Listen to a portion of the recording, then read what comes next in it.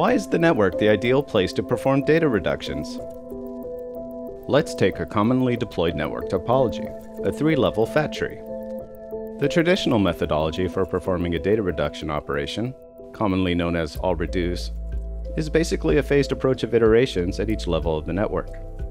For this example, only two server nodes local to the first tier of switching are shown.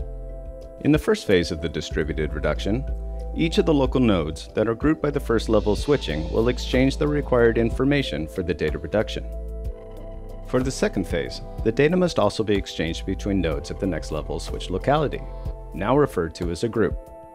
Node pair 1 and 2 will need to also exchange information with node pair 3 and 4, where node number 1, which includes the data from node number 2, will exchange data with node 3, and so forth.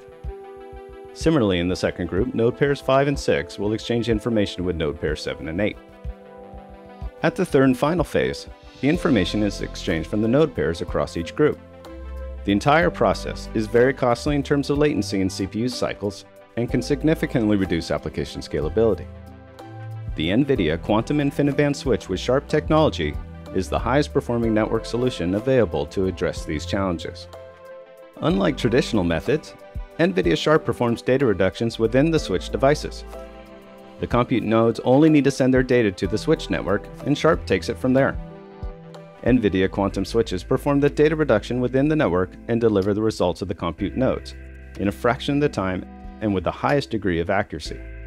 Sharp also dramatically reduces data in motion across the network, significantly reducing network congestion.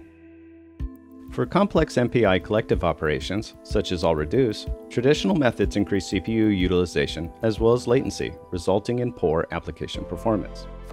By taking advantage of Sharp, latency remains extremely low and predictable, no matter the system size.